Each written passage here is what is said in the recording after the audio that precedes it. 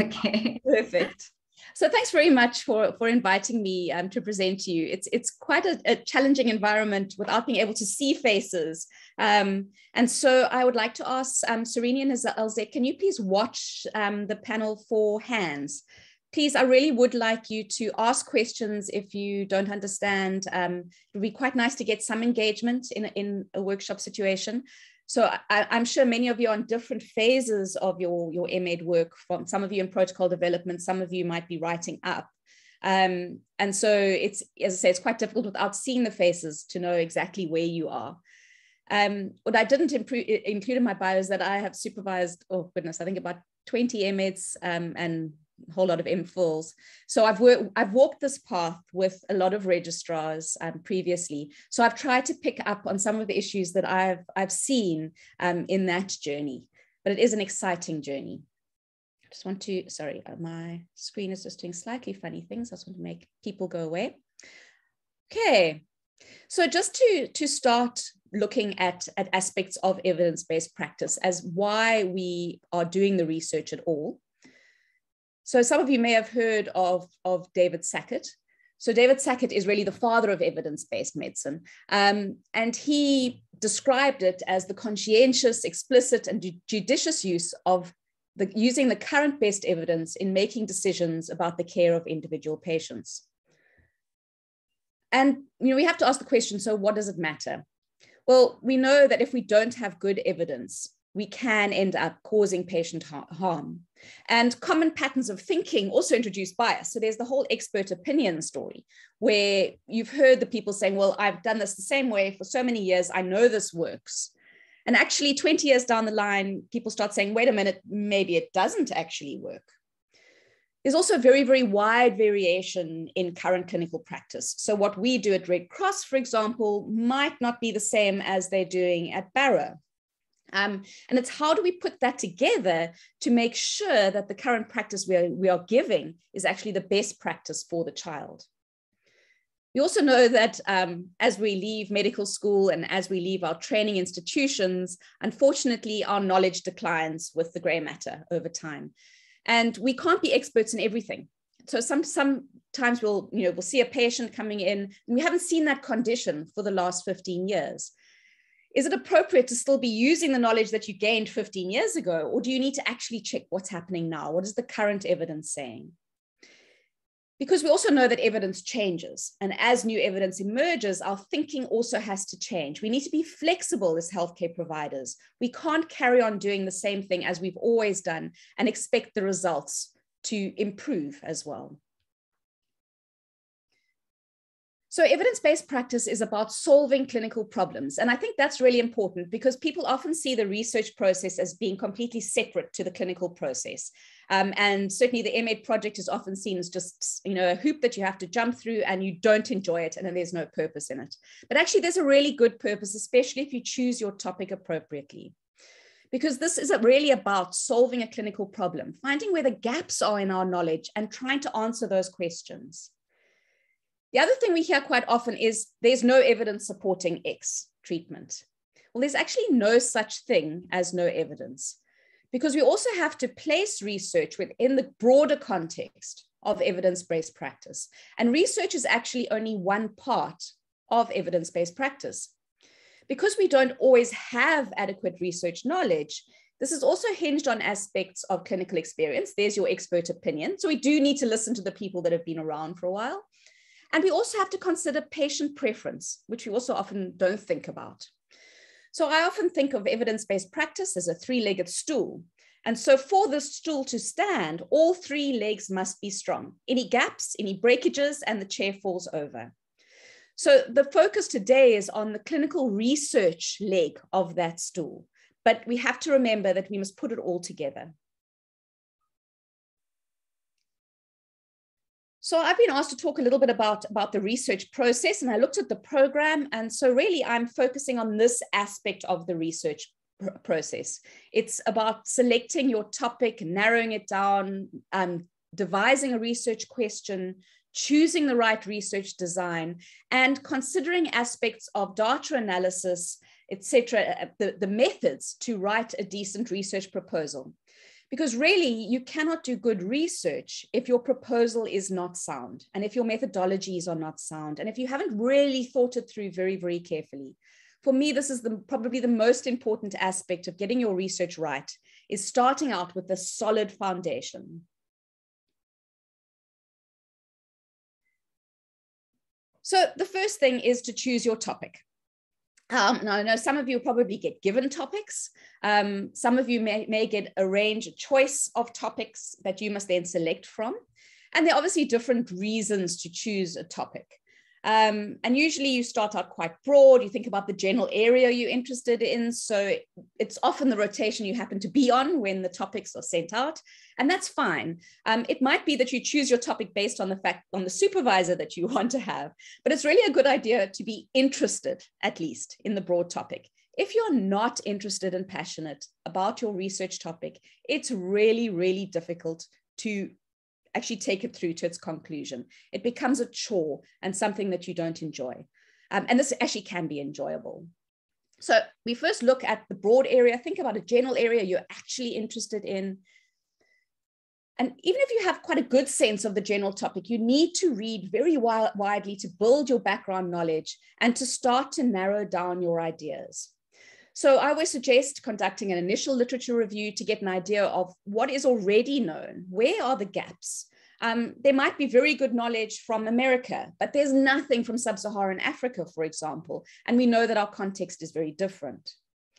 And as you're reading, don't just skim the abstract, read a little bit more extensively, take notes, try to identify the problems, the questions, some of the debates or contradictions um, and gaps in the literature.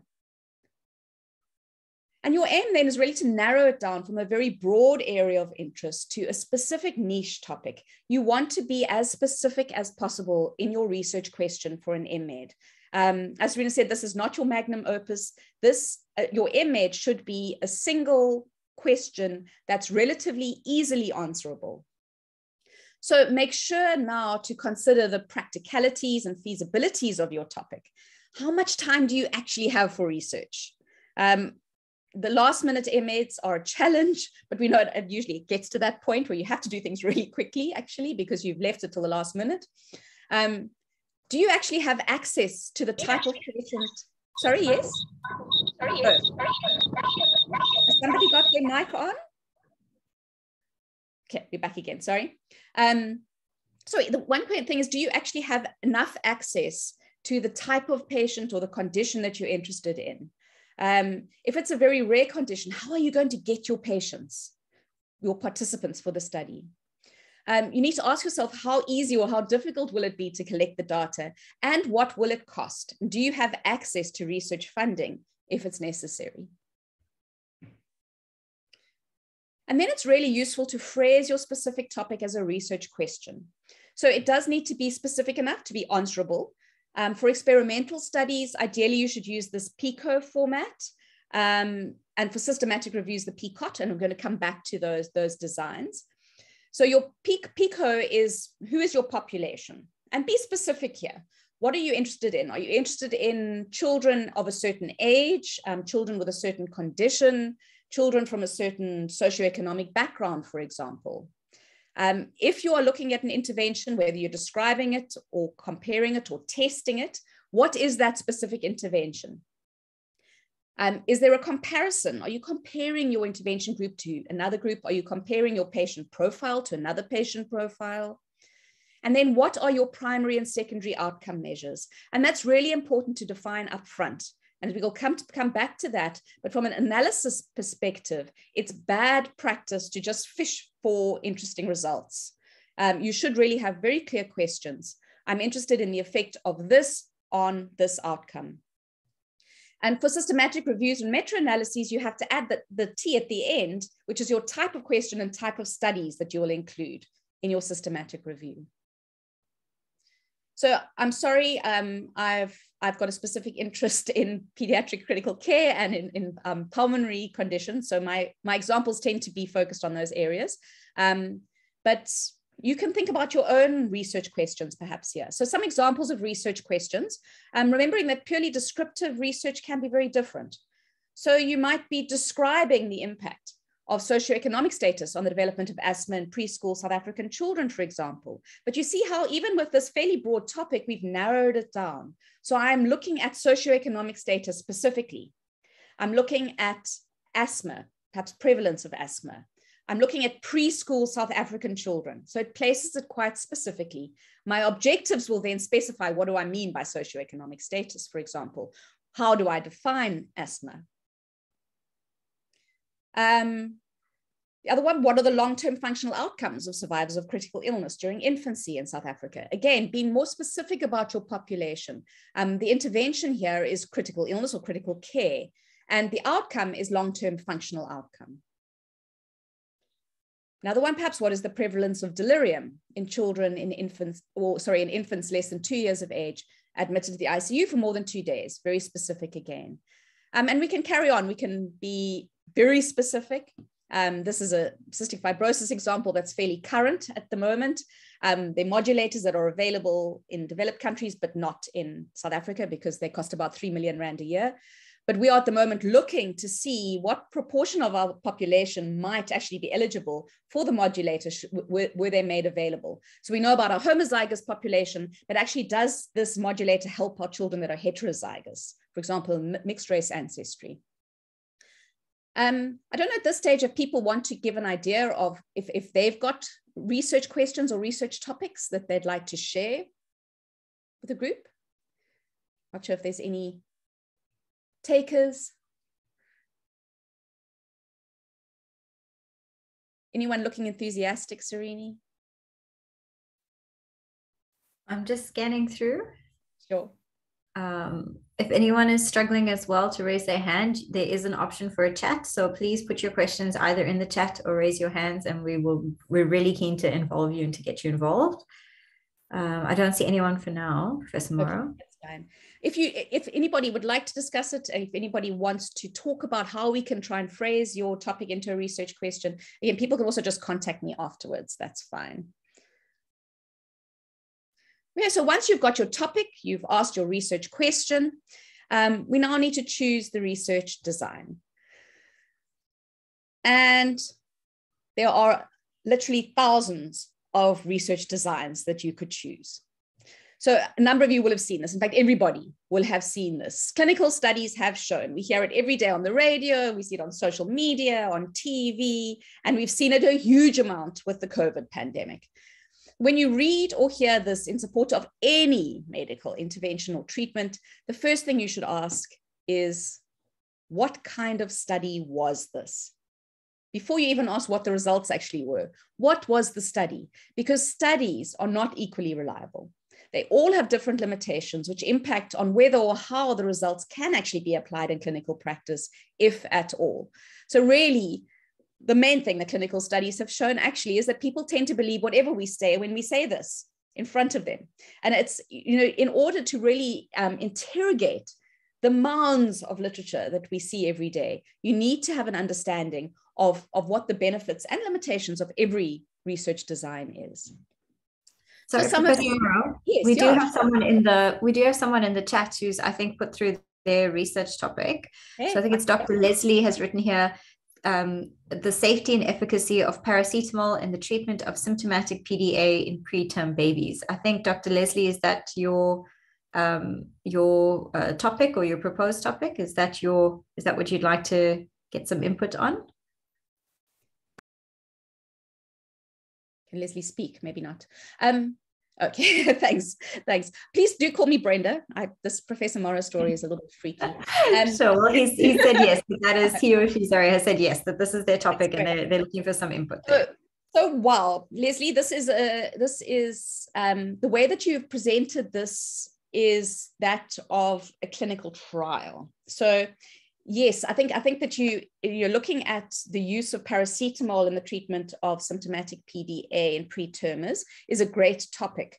When you talk about safety and efficacy, that is telling me that you need to have a control group, that it needs to be prospective, and that um, you know that there needs to be very clear um, intervention here. So in terms of standardization of dosage, for example, and um, perhaps use of placebo or comparator So this, when you talk about issues of safety and efficacy, you're talking about a randomized controlled trial and a clinical trial, which for an MED level, I would be very concerned about doing. You know, it's it's very it's a very big scope. It has huge challenges. So perhaps the focus at an MED level would be to describe the, the paracetamol use um, in, in, in preterm babies with symptomatic PDA. Um, in other words, if, if you are describing current practice, you can have children, you can still compare children who have received paracetamol to children who have not received paracetamol, but you, you're not using outcomes of safety and efficacy. Um, you need to be very careful about the outcomes that you choose. Does that make sense to you? Oh, yes. Thank you so much. Okay. But, but as a topic, it's great, but just be careful about how you're phrasing it because that's leading you through to the next step. Okay, the next one, the pathogens causing bloodstream infection in neonates in the NICU and their antibiotic sensitivities. So this sounds like a descriptive study. Um, so describing what, what are the common pathogens associated with bloodstream infection um, in NICU patients um, and their associated sensitivities. And that's completely, that's completely reasonable. Um, so that sounds like a descriptive study. That sounds like something that could be quite feasibly done um, using available, routinely available data. So that's great. Does that, who was that? Kanya? Yeah, so that, sound, that sounds fantastic. So it's just, again, it's rephrasing it into a question that's setting you up for a feasible study at the other side. Okay, and you can certainly come back to your efficacy and safety for your PhD later if you want. Okay. Okay, so some of you are clearly are uh, starting out with the research. So I think from the baseline, it's absolutely essential again to understand that not all studies are created equal, equally. So this is a table of the main quantitative study designs. I'm not talking about qualitative research, that's a whole different ballgame. So this is a table of quantitative study designs. And you can see that the strength of the conclusions increases as the rigor of the study increases. So a single observational study is just that. It's one study, it's one observation. And if you look at a single study in isolation, you're only seeing one piece of a big jigsaw puzzle, one interpretation of the research question, one idea about how to run a scientific experiment. So that's why you can make the strongest conclusions by synthesizing lots of data, lots of puzzle pieces into a big complete puzzle, a systematic review and meta-analysis, which really combines lots of good but small studies into one big, robust study. But that's not to say that the lower ranked study designs are bad. They may in many cases be the most appropriate for your context, for your research question, and many are a great way to start out in research. Um, so for MEDs, it really, I strongly recommend that you stick to feasible observational studies largely um, that can be feasibly conducted in a relatively short period of time. But with that, you have to understand what you can and cannot conclude from the results of the different study designs. And people often overstretch. You know, they've done an observational study and they come up with a conclusion, for example, of safety and efficacy, which you cannot do. And so you have to just be aware of, of what you can and can't say on the basis of your research design. So I'm going to go through these research designs um, and just yeah, describe their utility, their, some of their benefits, their advantages or disadvantages. So much of health research can really be broken down into two basic types. You've got your observational research and your experimental research in observational re-studies, the, the researchers just observe and gather data on some phenomenon that's already happening, but they don't intervene to change anything in the participants' lives, in their treatment. They just gather the information that's already there. For example, oops, somebody's got their mic on. For example, describing the antibiotic prescription processes in a NICU um, describing your patient profile, um, describing mortality, the, the, incidence of mortality, um, describing what else could we describe? Um, describing, yeah, we've done antibiotic prescription practice. It, there, there are a number of different things that you can describe using, using data that's already there that we're collecting every day.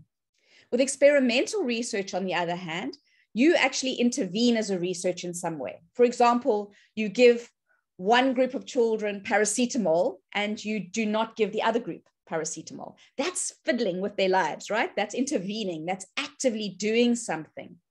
Um, and so that makes it experimental.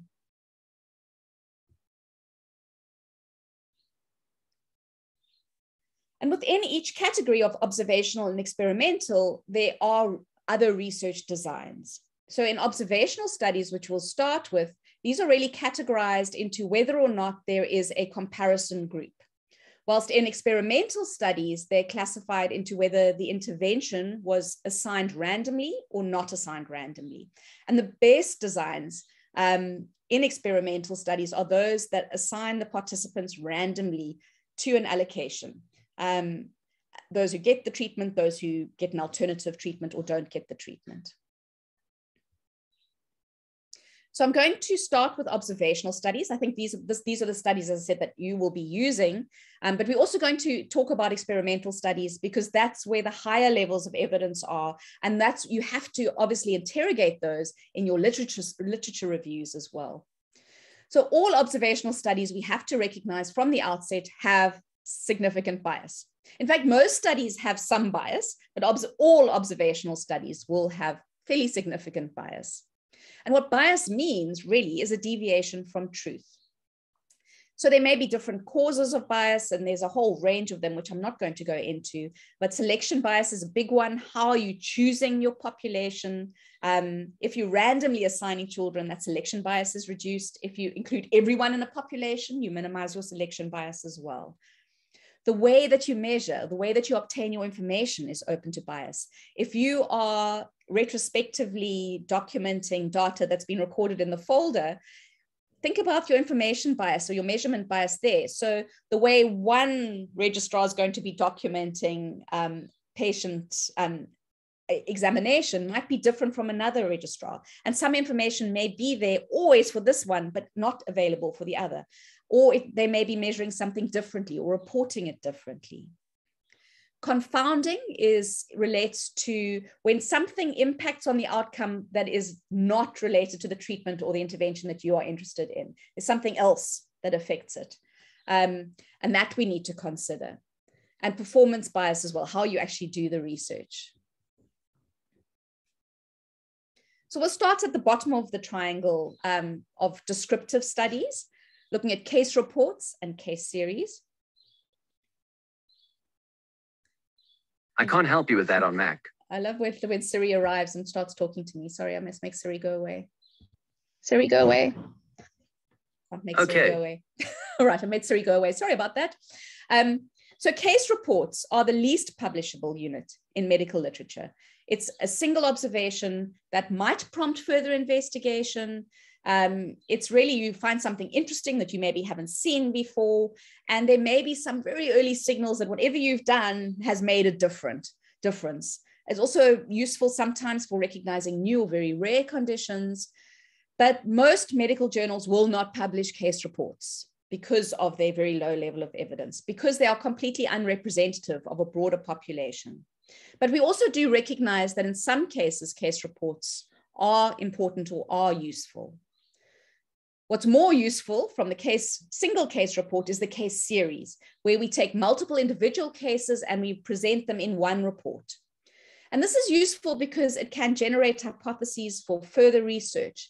But again, it's not generalizable. We often use retrospective data because you only start picking up on patterns after you've seen two or three or four children with the similar condition.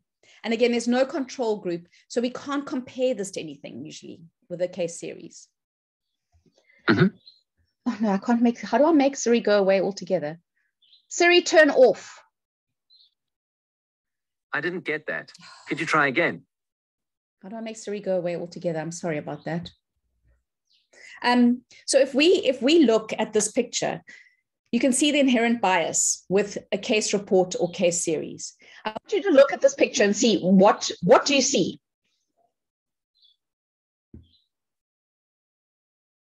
Any questions? Ah, I've gone away altogether because Siri's gone away altogether. Sorry. From the panel, What do people see when they look at this picture? So I see a, a lady with a feather. Um, okay. And hat with the head turned away, earring towards me, sort of a feather boa around her neck. Anybody else see anything different? Ah, we've got an old lady over there. Can people see the old lady if they look for her? So you can see the lady with her eye, and you can see the old lady. That's the, the young lady's chin becomes the old lady's nose. So this is really showing you the fundamental problems or biases with case reports, because we might see something that we think is absolutely true and clearly a result of the treatment that we did. It made a difference. It's worth presenting to the world. Somebody else may look at that case and say, wait a minute, I don't see that.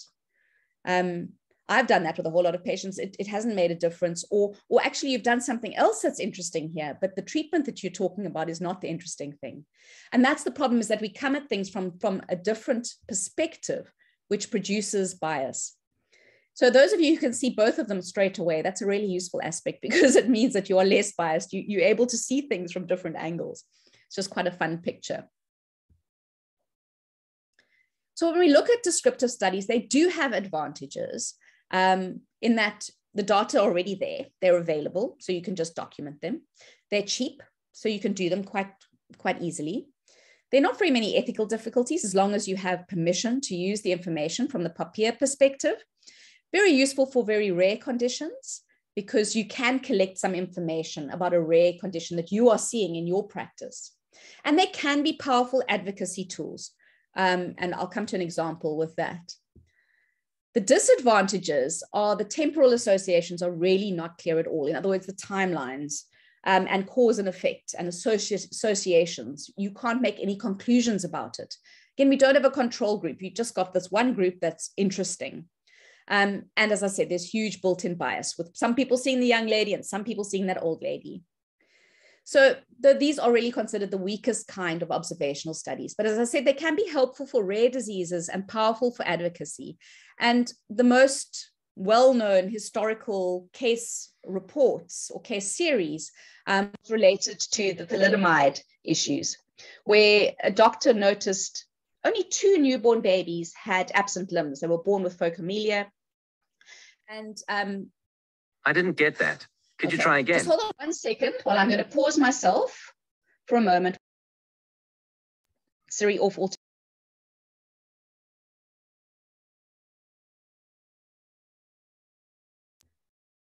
Siri only comes on when I'm giving presentations. It must be the way that I talk. So this was the case, a case series of two children. Um, and a pediatrician had noticed these two newborn babies being born with phocomelia, with absent limbs, and they this this pediatrician um, went back into the mother's history and realized that they'd both taken this new drug this thalidomide um, in early pregnancy. And he very, very quickly put together a case report, that was McBride, to alert colleagues to the possibility of drug related harm. And he, he put this out as a report as quickly as possible. There was no causation known. They didn't know that thalidomide caused this problem. But he went, wait a minute, there's something wrong here. Um, let's, let's just put it out to the world just in case. And obviously, from there, there was a clear association made that thalidomide was associated with congenital abnormalities, and the drug was was then withheld for pregnancy. And I think this is just one, it, it really highlights the fact that it can be really useful. It can be really important for highlighting something that's worthy of further study.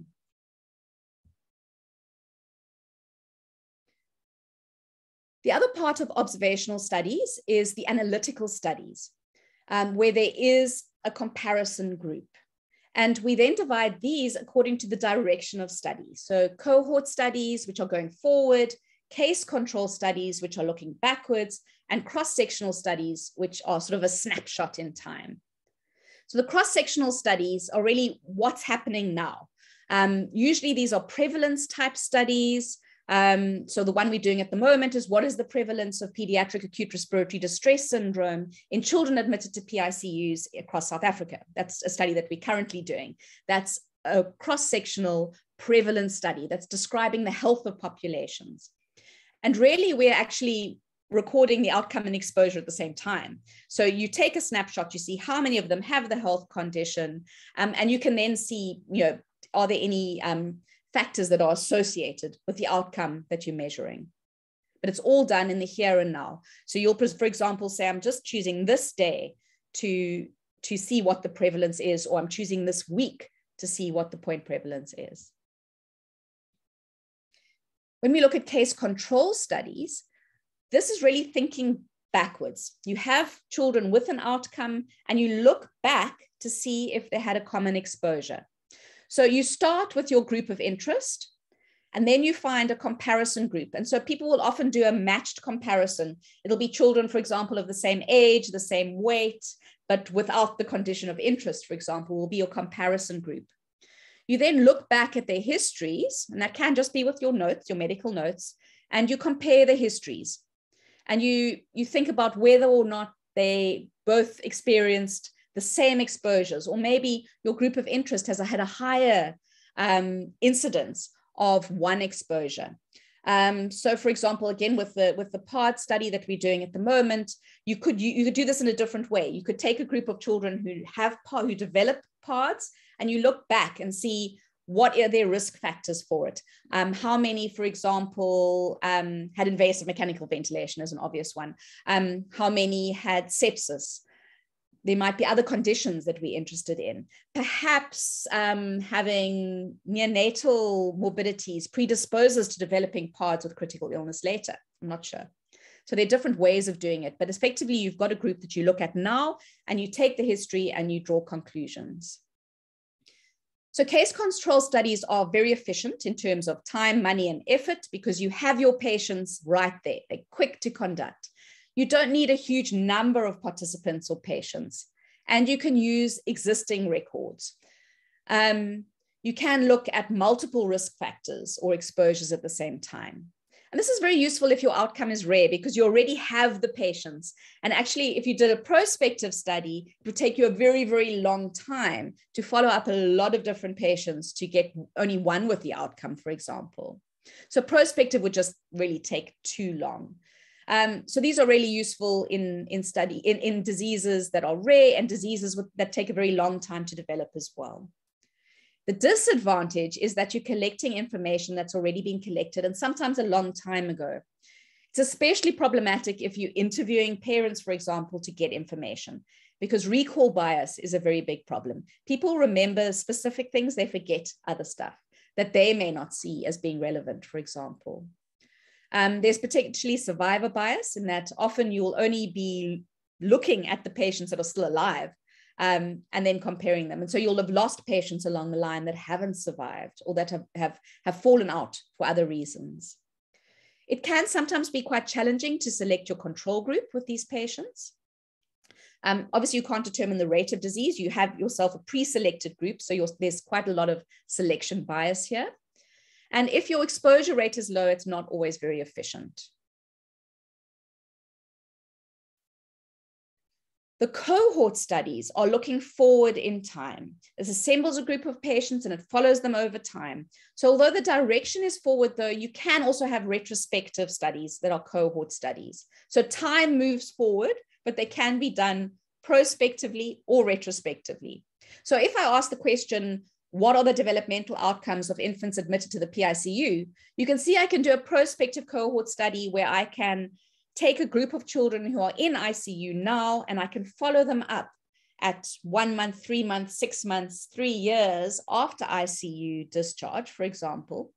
Or I can go and get a group of patients, or I can retrospectively choose patients that have already been in the ICU, um, who now come to developmental clinic, for example, and I can go backwards and follow, still following them up, but it's it's a different way of doing things. The best cohort study designs are prospective, where you literally do take people and you follow them through. Um, usually it's people, it's, it's your population without your outcome that you follow, you see what the exposures are, and then you look at their outcomes at the end. So many of you will have heard of the Drakenstein study. That's a large prospective birth cohort study where they're taking a large population of children that are from birth and they're following them through to school age to look at, amongst other things, development of respiratory disease. And then they can look at a huge number of exposures within that and risk factors. So cohort studies give a much better idea of causality. And actually, in some, some people have argued that these can be quite similar to um, controlled st studies, um, prospective experimental studies. Um, because they're prospective, you can actually look at incidents and you can look at the natural history of the disorder. In other words, you can get that temporal association moving forward.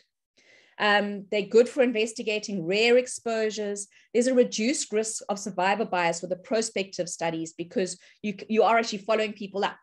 Um, and so you can keep reminding them really, and you can keep track of where your patients are. If um, the cohort is a prospective cohort, you can look at in things like incidence rates, relative risks. You can really calculate your confidence intervals, um, and you can get some quite robust data here, which is which is quite exciting. The disadvantages are that if your exposure or your risk factors are rare, you need very large numbers of patients to, to look at your outcomes. And there's still selection bias here. Um, if you're doing a retrospective um, cohort study, again, there's potential for information bias, and you don't have control over your data collection methods. So, in terms of standardization, if you're doing retrospectively, which is problematic. Prospectively, we can really tighten that up so we can be very standardized. For the prospective long-term cohorts, loss to follow-up is a problem. Um, it can be extremely expensive and it takes a very lot of time. So those are your, your disadvantages. If we look at observational studies as a whole, there are a number of limitations that we see. So generally we can only look at association between a risk factor and an outcome. You can't attribute causation usually. Um, and I think that's really important because people people get overexcited and they overstretch their results and their conclusions and say one thing causes another. Or um, so if, if you're just describing, I'll, I'll come back and I'm sorry I'm using that example, but the paracetamol use with PDA, is it safe and effective?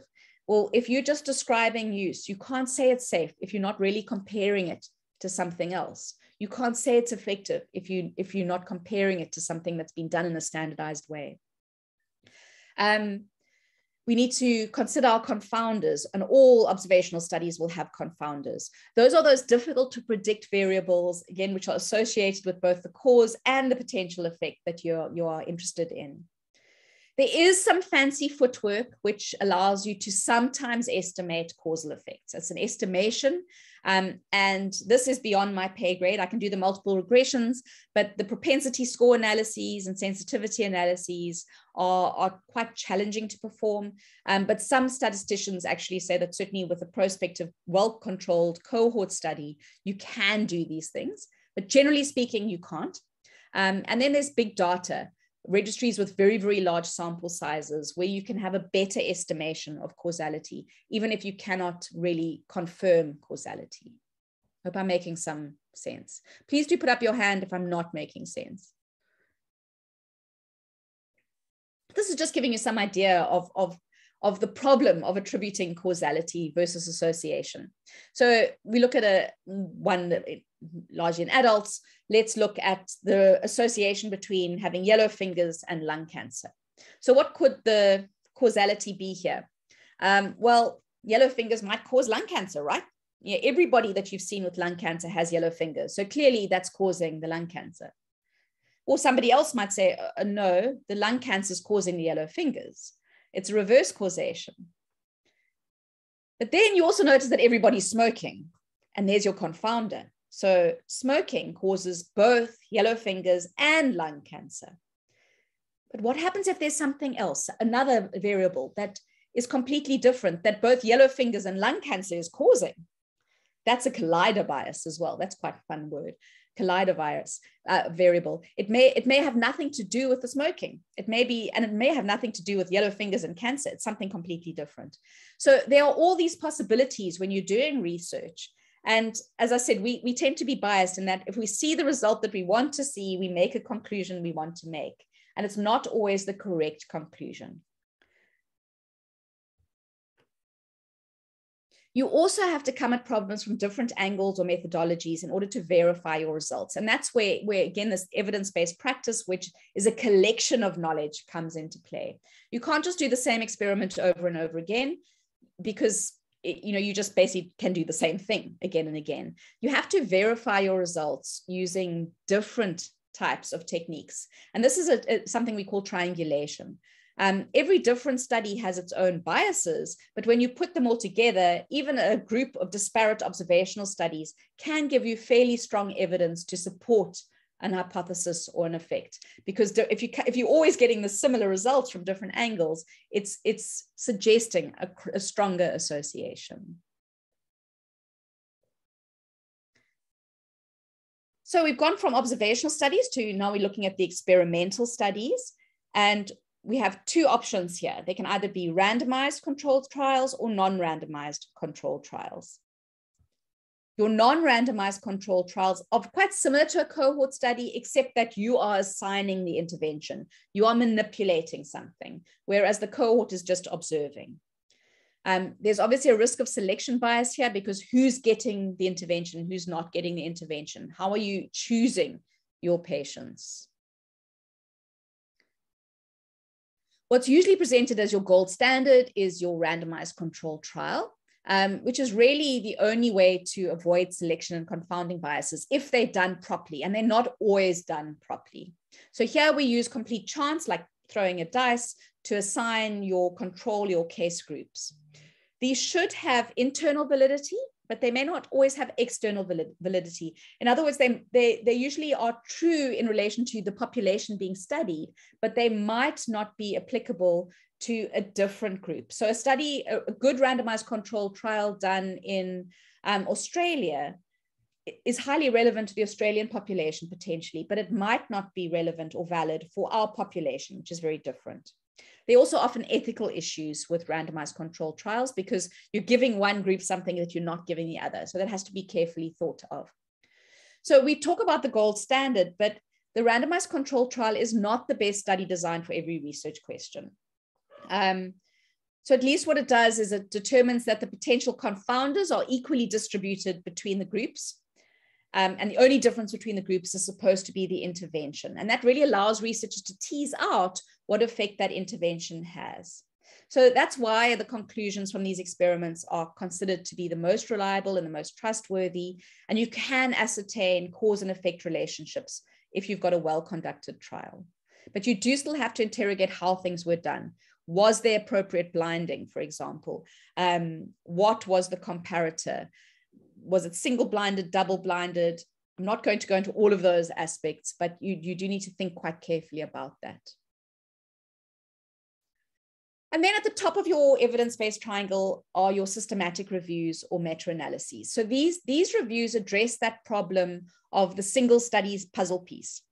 Rather than relying on just one person's experience or even just one randomized controlled trial, synthesized evidence draws on multiple sources. It weighs the contribution of each of those studies to arrive at a much better supported conclusion um, according to each of the studies, the, the rigors, the included studies rigor, the relevance of those studies.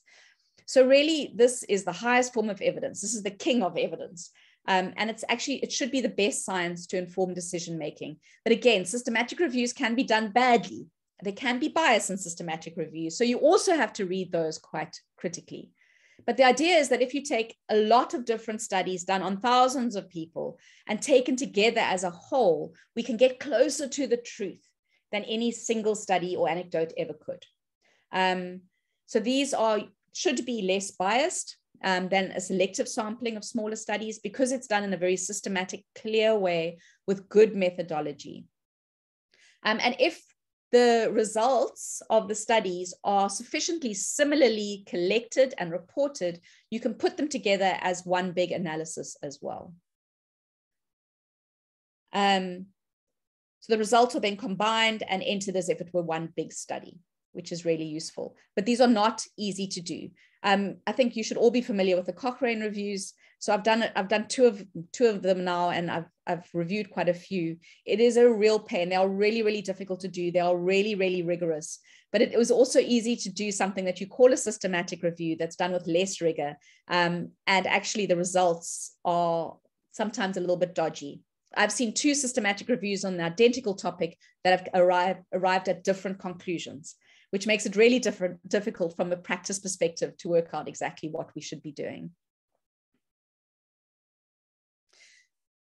So you are sitting here at an MMed level and most of you will be choosing an observational design. So why do we bother? Why are we doing it? Well, the first thing is that experimental studies are often just too expensive. They may have ethical issues. They're not feasible. They usually take a long time. They're really challenging to do. So that's the first issue. But observational designs as well are useful.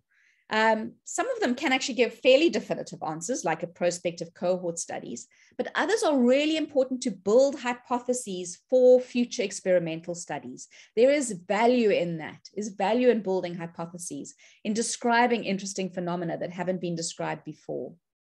They sometimes do give answers, but they really are very useful building blocks to the next step. That's your RCTs, your experimental studies, your development of clinical guidelines, um, decision making on an individual patient basis, and on policy development. So they are useful, they are worth doing, they do give useful information. Again, you just have to be realistic in what you can and cannot conclude from them. And there are ways of strengthening your reporting of observational studies so that you can give um, good reports and good conclusions at the end of it. STROBE is just one of them. Um, this gives you detailed checklists for what you need to conclude, sorry, include when you're writing up your observational studies. And actually, I use this in writing up my proposals as well to make sure that I've considered all the aspects that I need to report on at the end. And a STROBE statement or a similar um, statement is actually required by many journals before they'll consider publication. Many of these are actually methodological considerations. So you can't suddenly decide on them after the study's been, been finished. You actually need to consider all of these elements when you're developing your study protocol. So I think that's quite important. So just very briefly before a comfort break, let's go back to some of the questions um, that we, we, we looked at. And I'm going to choose some of your questions, I think, um, and we'll look at the research designs that we could use. So the impact of socioeconomic status on development of asthma. Well, this could be a systematic review. You can put a whole lot of research that's already been done together. Could be even a systematic scoping review. It could be a case control study. Let's take a group of children with asthma and let's go back and see what their socioeconomic status is. Um, there are actually a number of different possibilities here.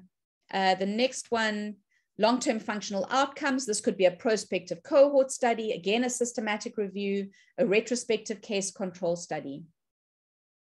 If we go back to um, the, what are the pathogens causing bloodstream infections in neonates in the NICU and their antibiotics sensitivities, this could be a purely descriptive retrospective study, um, literally taking a cohort of patients that have been admitted to the NICU and pulling out their, their pathology, their microbiology reports.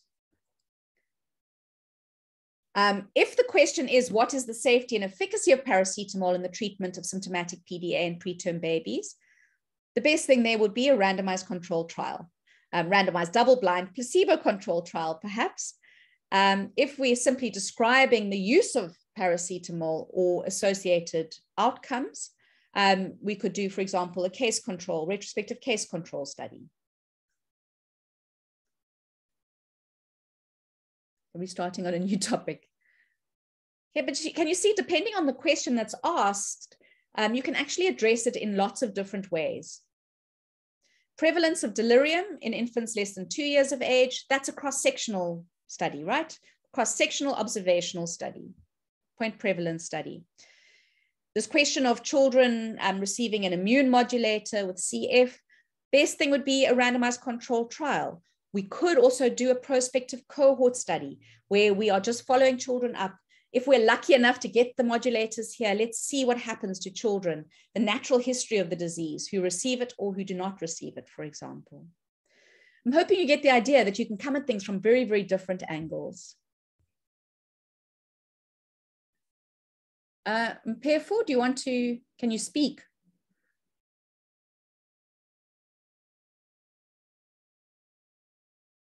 Oh, it's okay. We'll come back to that. That's fine. Um, Brenda, I do see Kelly Wong has her hand up, so I'm going to allow oh, her to cool. talk. Great. Um, Kelly, go ahead. Just see your hand is up.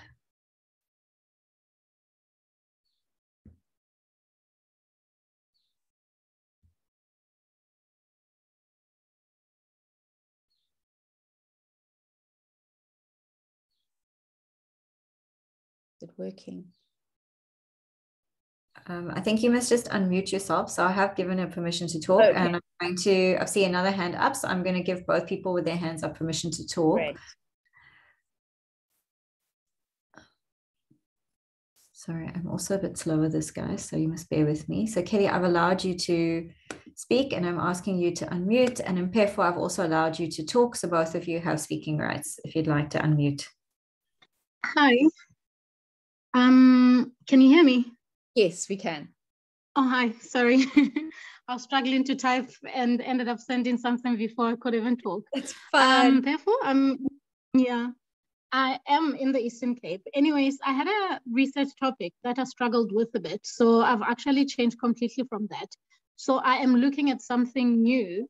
So what I'm looking at in our setting is CT scan indications and yields, like in the medical patients to see like, it's basically going through the data from uh, 2021 to see how many CT scans did we do and what were the indications and what was the yield for that. Um, yeah, my challenge uh, so far is with the, I've seen a study from Red Cross, which looks at more or less the same thing, uh, but the reports had to go via the radiologists, which is a bit of a challenge here in the Eastern Cape, like to have like an actual radiologist uh, reporting on the CT scan. So I don't know if it's it would make sense to the ones that we've seen and didn't change any clinical uh, in terms of like interventions and all that would that still be sufficient even if it wasn't like a formal radiologist kind of uh, reporting on those ct scans like basically the ones that we didn't think there was anything wrong.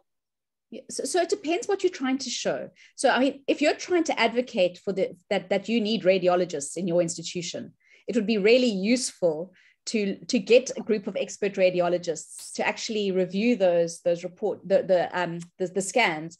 And and so you can see you know what did you miss in not having a radiologist? So that's that's one way of looking at it. If you are just describing what happens in your institution without radiology um, consultation that's a different question and that could be purely descriptive the problem okay. there is missing out a chunk. But but you know you could you could say that you know of you know 50% actually we didn't we yielded no useful information to change practice, but in the other 50% it did. And then you can you can try and get an idea of, of whether it's worth doing in terms of expense as well. Um, okay. The other hand, as I say, the ones where you didn't pick anything up, was there actually something there that you missed? So it, mm-hmm. it depends on the question that you're asking. And if you're just describing practice, but if you want to use it as an advocacy tool, you might want to take it one step further. Okay. Okay. Okay. Thank you very much. Thank you. Somebody else um, hand. Thank you. Um, I think Kelly's put her hand down, but I see there's another um, question in the chat. Um, let's see who's that there. Muko, I'm going to see if I can unmute you. Sometimes it's easier if you um, present your own question directly. Um, okay, so I've given you permission to talk. Um, Makove, Hello, morning. Can you hear me? Yes, we can. Thank you. Okay. Um, I just wanted to ask if you can advise on the different study methods that I can use regarding this topic. Sure. And what would be the pros and cons of each method? So we're looking at immunological and virological outcomes of children living with HIV, right? That started ARVs yes. very early on. Um, so in terms of those outcomes, what specifically are you looking at? So we're looking at the mortality. Yeah. Um, we're looking uh, at the the compliance Okay, so, so that's, defaulted. That's, the compliance is, is not an outcome. So your outcome is, is so mortality is one of them. So immunologic and virologic is different. So if you're looking at mortality, um, it's it's it's you know, you'd rather go go forwards from children who are start, starting on ARV. So then you take a cohort of children that start ARVs early and you follow them up for mortality outcomes. And that could be retrospectively done as well. So you you you go back to um, I don't know 2020 and you get a collection of folder numbers of every child that was started on ARVs in the first two weeks of life. And then you're sitting at in 2022 and you say, what are the two year, what's the two year mortality of those children, for example? Um, so that could be a cohort study, either done prospectively or retrospectively. On the other hand, if you're looking at some specific immunological outcome, you could look at um, your infectious diseases clinic population now, and you see which children have a specific immunological outcome that you're interested in, which don't, and you look back um, and see what impact that, you know, how many of them started ARVs early and how many started later, for example. If you're trying to see whether early versus late ARV initiation makes a difference on those outcomes. So there's, there's, there's again, there's different ways of doing it depending on the nuance and what is the primary and secondary outcome that you're looking at. That makes sense? Yeah, it does. Thank you so much. You sure? Okay. I just wanted to give people a two minute um, comfort break because otherwise I think it gets quite long before we go on to the ana analytical um, aspects. Is that okay, Serini? Um, that's completely fine. My time says 9.27. So if people are happy, can we do a three minute stretch and walk and maybe we can start at 9.30. Does that sound reasonable? Perfect. Okay, great. Thank you so much. We'll see you all in three minutes. I'm not logging off, so please just leave your computers on for everyone's, um, uh, for simplicity's sake, and we'll see you in three minutes. Thanks.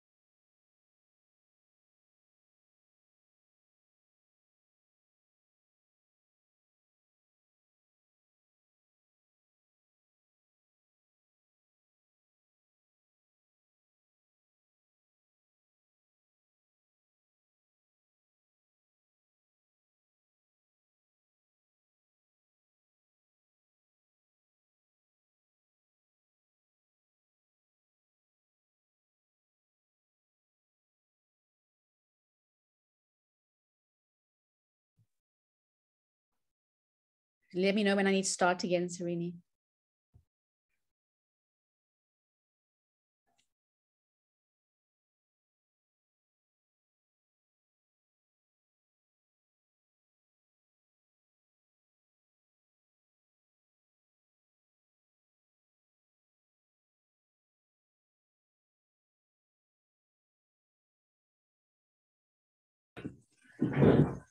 Okay, welcome back, everyone. Um, I think, Brenda, you look like you're very ready to go. So, shall we continue with the next session? Sure. Um, I'm trying to keep to time, but it's it's it's it's quite challenging. But that's fine. I think we I think we're on track, so that's good. Is everybody back in the room, the virtual room? We seem to have 67 people, and they seem to still be here in one way or another.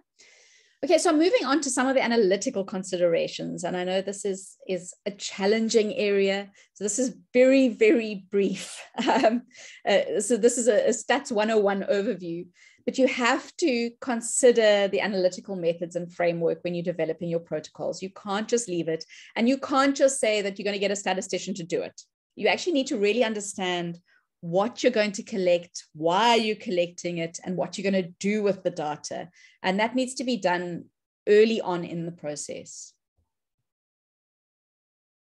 So some of you may have heard this. Um, there are three kinds of lies, um, lies, damned lies, and statistics. And it is true that you can manipulate your data to, largely to show something you want to show, which is why we need to be suspicious of what we read, especially what you read in, in um, social media when people are trying to interpret clinical trials results. They do it in ways that make it appear very um, enticing or very persuasive, where in fact the stats aren't actually showing what, what they're reporting or in the same way they're reporting. So you do need to be aware of, of what you're doing and why you're doing it. So people think of statistics as something that's really, really complex, but really all it is is a way to get usable information from your raw data.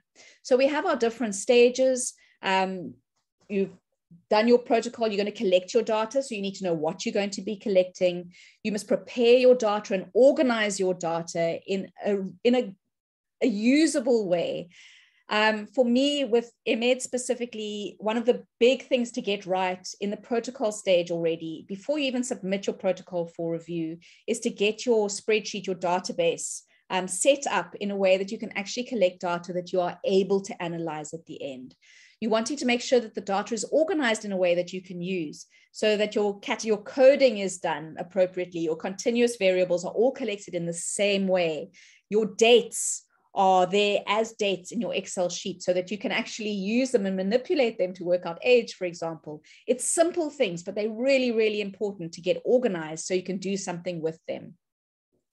So you collect your data, you organize your data in some way, and then you are going to be analyzing your data descriptively to start with, which is we got to come to what that is. Just it's really just saying what you have found. Um, and then moving forward to more deeper analyses that you can actually interpret and apply to the bigger population. And from there, make sure that the conclusions you've made are appropriate to the data and the study type that you have done. This is an important one. Everything should be made as simple as possible, but not simpler. The studies, as, as an editor, that I'm most suspicious of um, when I get something to review for any of my journals is um, if they have really tried to baffle me with bullshit, if they've used statistical methods in quite a simple study that I've never heard of, it is usually saying to me that it's rubbish. And then I need to really look at it in a lot of detail um, to work out what they've done and why they've done it. If a study is simple, if it's an observational study, it usually doesn't require very fancy footwork in terms of statistics. I said, think about your data. It's really, really important to consider the type of data that you're going to be collecting. It needs to be appropriate to your research questions, your aims, your objectives. Maybe you're answering hypotheses. Um, and your statistical approach also must be defined at the start. You shouldn't just data fish. People love throwing their data at a stats um, program and hoping to get some red p values at the other side. Um, that's not appropriate. You're asking a question and you need to do the analysis to answer those questions specifically. quite like the idea that analysis actually means loosening up. It's the opposite of synthesis, which is a putting together. So usually we, you know, we collect the data and then we analyze it, we loosen it up, we see what's happening. And at the end, you synthesize again to put it all together and make conclusions. So many of you will have pro forma protocol sheets that require you to enter your independent and dependent variables. Um, and this is often confusing for people. So in general, the independent variable is the one that you are manipulating as the researcher. Um, it's the thing that's influencing, the thing that's making the change, the cause. And you're looking at the effect on the dependent variable. Um, so that's often your outcome measures. And there may be different levels of um, independent and dependent variables as well. So for example, if you're comparing one experimental treatment with a control treatment, those are your independent variables. You've got two levels of independent variables. And then you've got, you're looking at the outcome, which is your dependent variable. Okay, so if you've got an experimental and a control group that you're comparing, you have two levels of your independent variable and you're looking at the effect on your dependent variable, your outcome. If you're comparing five different interventions, then your independent variable has five different levels. Okay, so independent variable influences the changes in the dependent variable. Hope that makes sense. When we're looking at our outcome data, our dependent variables, there are different types of quantitative data as well. So you're looking at categorical data and you're looking at numerical data. If we are looking at um, our categorical data, so these are categories, it may be nominal and it may be ordinal. So if you're thinking of things like male and female, um, disease yes, disease no, that's nominal data. Okay, your sex, male or female, color of your eyes, red, well, it wouldn't be red, hopefully, um, blue, green, brown, for example. Okay, branding it, it becomes nominal. Your ordinal data is ranked data. So, for example, if you have a, um, a Likert scale where something, um, let's see, let's say pain, your pain faces scale, where naught is no pain and five is considerable pain. It's it's ranked data, but the difference between the ranking is meaningless. So if I say that my um, my pain is four out of five, and you and and yesterday my pain was three out of five, that difference of one doesn't make any difference. It's not meaningful. So one is more than the other, but the difference in terms of numbers is meaningless. Hopefully that makes the same, make, makes some sense to you. We then have our numerical data that can be discrete. In other words, you can count it. Those are non-binary integers non-negative integers, sorry, um, and continuous data, which you should be looking at. So that's length, weight, um, temperature, um, SATs, PCT, heart rate. Any of those are continuous data that we're measuring, okay? We need to remember when we're looking at our data analysis that you can't do the same thing with all types of data. So with ordinal data and nominal data, we with ordinal data, you can look at medians, you can look at percentiles, you can look at frequency distribution. You can't add them or subtract them, but you can do that with your continuous variables. That's the interval and ratio here. I haven't gone into that. That's a little bit too complex, but that's all your continuous data. You can manipulate your continuous data a lot, but you need to be careful about what you do with your nominal and your ordinal data. So what some people do is they'll say that there's a pain scale. They'll say this um, medication is highly effective in reducing pain because it reduced the pain scale by two points. Um, that might not be an appropriate conclusion because that two points is not terribly meaningful. And if we compare that two points to another intervention that reduced it by, by four points, that difference between them is not necessarily meaningful. Don't see any hands up. So I'm hoping I'm making sense. The other thing you must plan to do from the start is to test your data for normality. Um, a lot of people just presume that their data has this nice bell-shaped curve. but most of the data that you, you, you, you guys will be collecting will not be normally distributed. Usually the sample sizes are relatively small in the types of research that are done by registrars, and it's usually not normally distributed. So you do need to test. The, there are different tests you can use. I like the Shapiro-Wilks W test. There's also Kruskal-Wallis and Lilliefors test.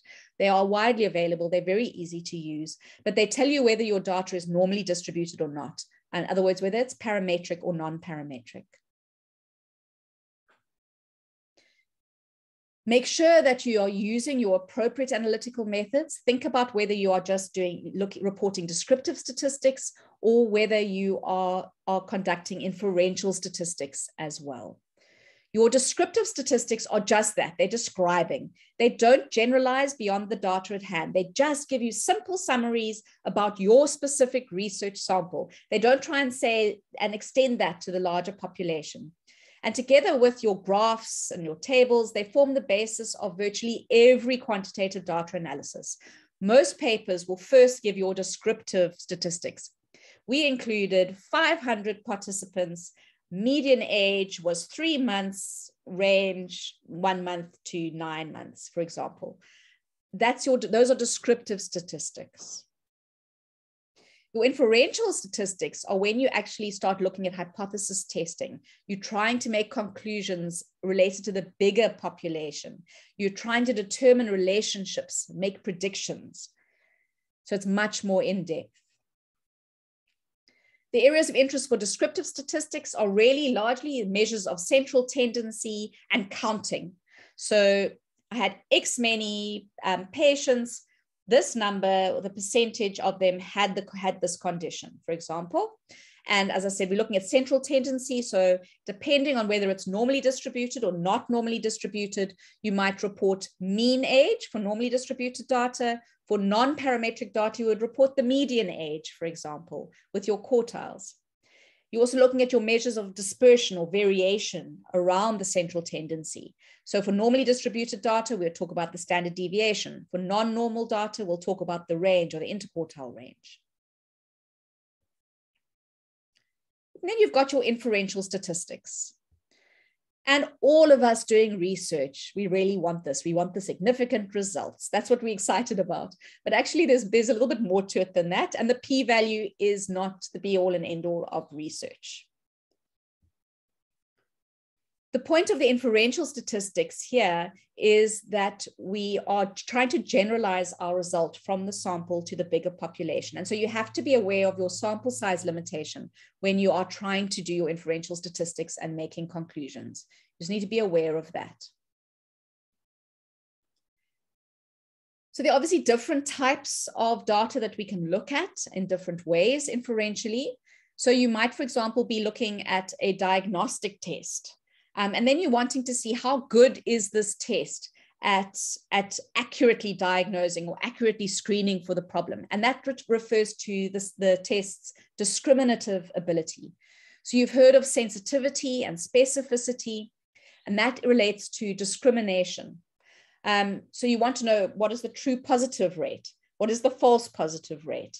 What is the false negative rate and the true negative rate? And from there, we can determine our sensitivity and we can determine our specificity as well.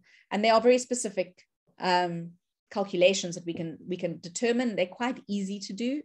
Um, if you look at people who really have the disease or condition and those that do not have the condition, and then you can look at whether the test shows you have it or the test does not show that you have it. And we can then calculate sensitivity and specificity. I can send you these slides if it's useful for you. Sensitivity and specificity are also determined by the receiver operating curves. And this helps you to show the trade-off between sensitivity and specificity for any possible cutoff for a test, for a continuous um, test or a combination of tests. And if you're reading um, studies on diagnostic tests, they will talk about the area under the curve, the area under the, the receiver operating curve or the ROC curve, gives you an idea about the general usefulness of the test. The greater the area under the curve, the more useful the test is. A perfect test would have an area under the curve of one. A worthless test would have an area under the curve of less than 0.5. So this is the area under the curve here. and you're looking at your sensitivity along this axis, along the, um, I don't know if you can see my cursor, along the y-axis axis, and the specificity along the x-axis. Axis. And your curve is this blue line. The closer it is to the left upper corner, the better the sensitivity and specificity. And you're obviously wanting a trade-off between sensitivity and specificity, depending on whether you're doing a diagnostic test or a screening test as well. So this can give us different cutoffs for what the best test, the best cutoff is for your um, diagnostic test, or you can evaluate a cutoff um, in terms of sensitivity and specificity. So again, this is looking at your diagnostic accuracy, uh, look, interpreting your area under the curve. If it's between 0.9 to 1, that's excellent. If it's less than 0.5, as I said, it's, it's not useful. And then there's a range in between as to how useful your test is. So the greater the area, the more useful is the test. The other thing we may be looking at with inferential testing is hypothesis testing. So you've got a null hypothesis, your H naught, and you've got your hypothesis, H1.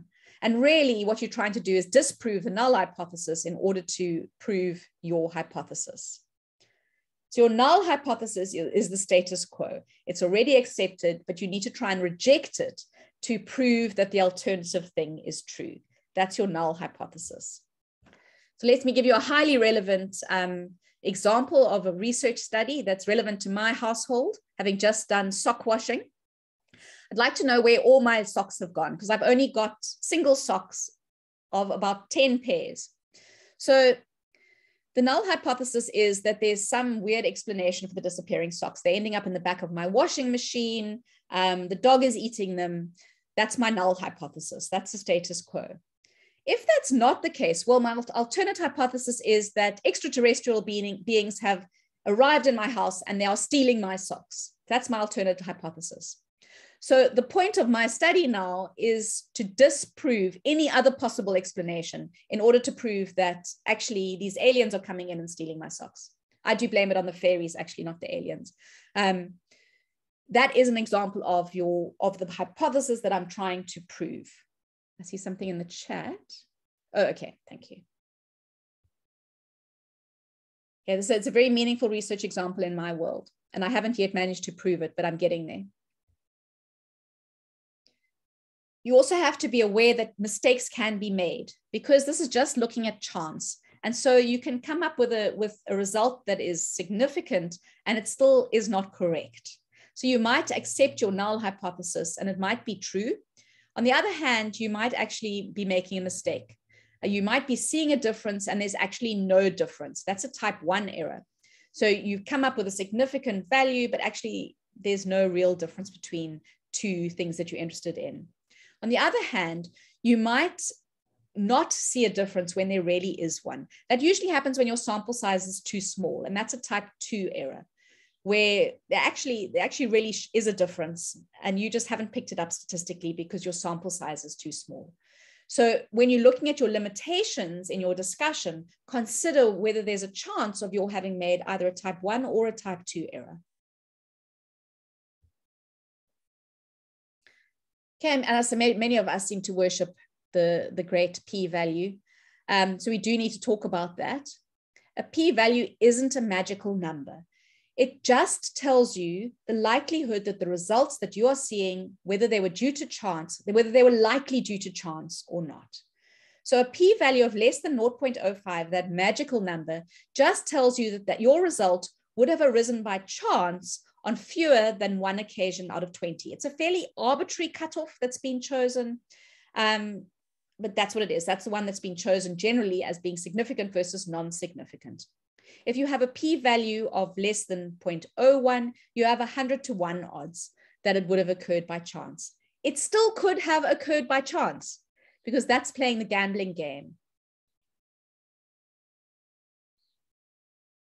So a p-value, as I said, only tells us the likelihood of whether your results are real or by chance alone. It's not an absolute, yeah, it, it's not it's not giving us uh, really, really convincing results. But obviously, the lower your p value, the less likely it was by chance. So if your p value is less than 0.001, you've got less than one in a thousand chance of being wrong. It's still there, but it's much, much lower. So by the laws of chance, if it's p-value less than 0.05, one in 20 times you will get significant results, even if there's no real relationship or association. And this is one of the reasons as well why you should also think about adjusting for multiple outcomes. Um, in most observational research, we have these long tables, and I, I do them as well, where you're comparing two groups with p-values, and you have like 50 things going down this table with p-values. And then you get excited because three of them come out significant. Well, if there's one in 20 chance of being wrong, if you're throwing 50 analyses at it, I expect them, I expect there to be several of them coming out as significant purely by chance. And that's why we actually should be doing Bonferroni adjustments for multiple outcomes. Um, and statisticians can advise, or you just Google it. It's really easy to do a Bonferroni adjustment. Essentially, you just change your cutoff p-value for multiple comparisons so that it has to be lower in order for you to be more likely to believe it.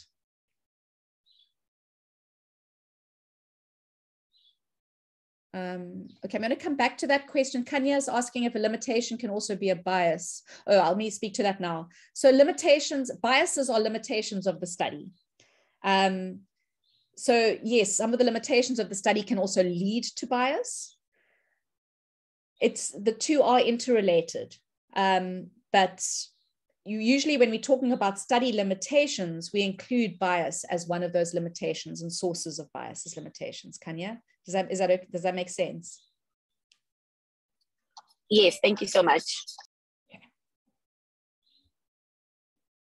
And the cutoff of 0.05, as I said, is a fairly arbitrary cutoff. Is there any real difference between a p-value of 0.06 and a p-value of 0.04 in terms of what it actually means by chance? It really isn't. There really isn't much difference. So again, just be, be sensitive to your results and what they really are meaning. Um, and I know some reviewers will say, well, you can't say it's, it's, it's, it's interesting if it's 0.06, there's no significant difference. But actually you can say there's a signal there. There's something going on there, even if it hasn't reached your a priori distinction for, for significance. Most journals now, though, are asking you to present confidence intervals in addition to p-values um, because this really combines the statistical stuff and the clinical stuff to give an idea of how precise your result is. In other words, how strong or weak the evidence is. If you have enough numbers, you will get a significant p value, but it doesn't actually tell you much that's useful for clinical practice. Whereas the confidence intervals tells you how close the result is. Um, so really what the 95% confidence interval is, is telling us is that if we were to repeat the study multiple times, 95% of those studies would have results within that specific range. The wider the confidence interval, the less precise are your results. The closer the confidence interval, the more precise. And if your confidence interval overlaps zero, then you can say there's no difference, it's not significant. I'm not going to um, labor this, but some people also look at effect sizes, um, which is a different way of looking at things. It's a calculated standard difference between groups. Usually it's taken with normally distributed data, with looking at the mean of the one group versus the mean of the other, divided by the standard deviation. And that gives a Cohen's D um, effect size, which can be small to large. And it's sometimes useful in giving an idea of how big the effect is. Usually the confidence interval will be, will be appropriate and more useful than this though, although I have used it in some studies before. I actually used the effect size when I, I was doing a randomized control trial and I wasn't actually able to achieve my required sample size. And so getting an effect size get, gave, a, gave an indication of a signal of an effect, even if I couldn't um, completely conclude that there was an effect of the treatment.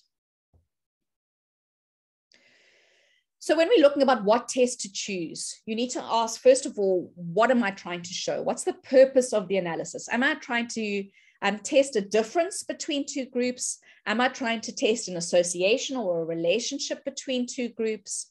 What is the sort of data that I'm trying to, to test? What is my measurement? Am I looking at continuous data? Am I looking at categorical data? How many sets of data do I have? Am I looking at two separate groups? Am I looking at one group that before and after an intervention, for example? And is my data normal or not normal? So I'm belaboring this a bit, but it's one of the things people really are bad at. People do not test for normality and they don't report the testing for normality. Parametric tests are more powerful than non-parametric tests.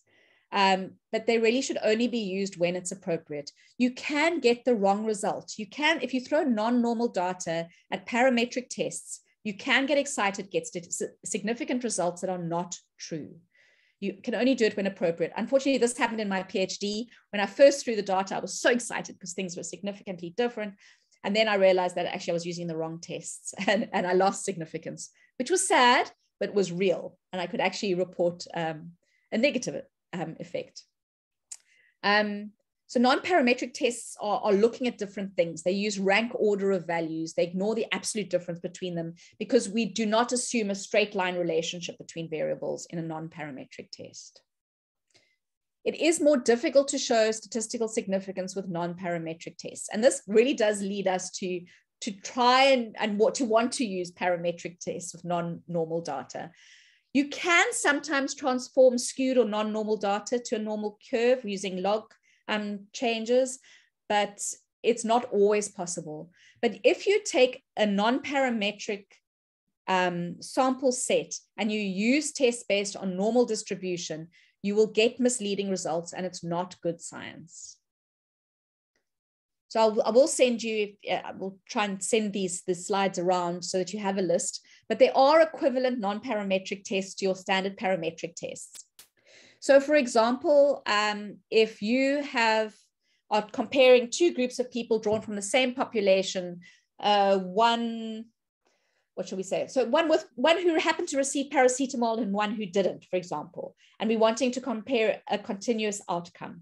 If you've got normally distributed continuous outcomes, you will do an unpaired or independent t-test. If it's non-normal data, you will use a Mann-Whitney U-test to compare those two independent samples. Oh, I've actually got examples there. I forgot about that. On the other hand, if you are, for example, wanting to compare the weight of infants before and after a feed, um, so that's that's a repeated measure. So one sample paired t-test will work for your parametric data. If you've got non-normal data, you'll use a Wilcoxon matched pair set. Um, if you are trying to determine a number of different time points in the same sample, for example, you're looking at plasma glucose um, one, two, three, four hours after a meal, for example. These are these are examples that were given to me by um, a different a, a research workshop that I did. You might use a one-way analysis of variance, repeated measures analysis of variance, or an ANOVA. Um, non-parametric will be your Kruskal-Wallis uh, ANOVA. If again you're now trying to say um, okay we're going to look at plasma glucose one hour two hours three hours after a meal but now i want to compare boys and girls. I will now do a two-way ANOVA between and within groups. Okay. And there's a non-parametric equivalent of that.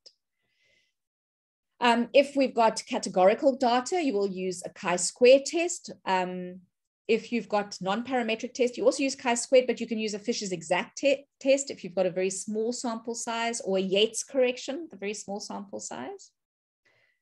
And then we might want to look at the association between um, two variables. Are they going in the same direction? So let's see whether weight is correlated with height. Obvious example, I mean, they generally are, but um, you want to look at the, the strength of association between continuous variables. Is there a straight line association? So in normally distributed data, we would expect a straight line association. And then you can look at your Pearson's product moment correlation coefficient.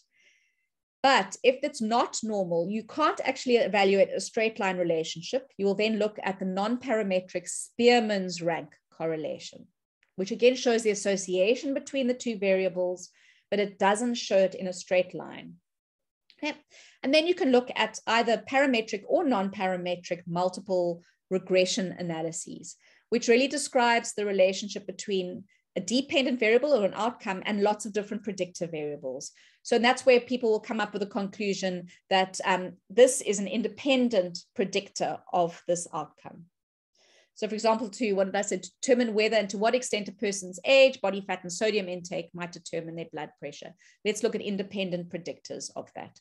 Um, with the POD study we're doing at the moment, um, is age a factor? Is preterm birth a factor? Is um, the presence of sepsis a factor? Or is it more actually if they come in with direct lung injury with, with, with um, pneumonia?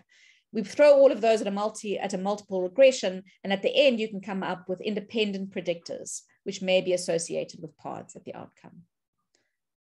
Yeah, just about finished.